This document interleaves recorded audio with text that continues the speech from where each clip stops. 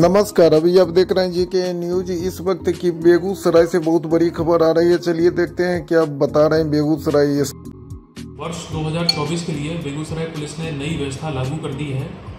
अब जो एफआईआर दर्ज होती है, वो पूर्णतः सीसीटीएनएस पे ही दर्ज की जाएगी। हाथ से जो एफआईआर लिखने का सिस्टम था, अब उसको बंद कर दिया गया है।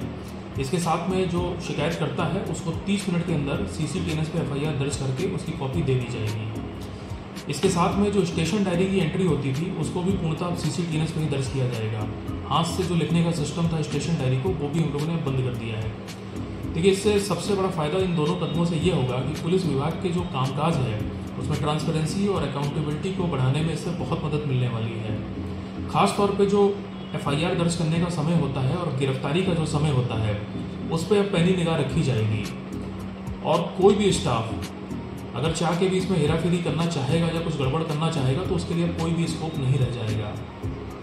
और जिला पुलिस हेडक्वार्टर पे मेरे द्वारा और पुलिस मुख्यालय में जो हमारे वरीय अधिकारी हैं, उनके द्वारा सी सी के माध्यम से इन चीज़ों की कभी भी चेकिंग की जा सकती है, कभी भी मॉनिटरिंग की जा सकती है। और इस वजह से इस पूरे में जो ट्रांसपेरेंसी और अकाउंटेबिलिटी होनी चाहिए, वो बढ़ेगी इससे हमारे स्टाफ में। इस चीज़ को लेकर के हमारे सभी जो थानाध्यक्ष हैं, सर्किल इंस्पेक्टर और एस को इस व्यवस्था को लागू करने के लिए मेरे द्वारा विस्तृत आदेश जारी कर दिए गए हैं और पिछले एक सप्ताह से ये सिस्टम हमारे ज़िले में बेहतरीन तरीके से काम कर रहा है। तो वर्ष 2024 के लिए बेगूसराय पुलिस की तरफ़ से ये एक बहुत महत्वपूर्ण कदम होने जा रहा है।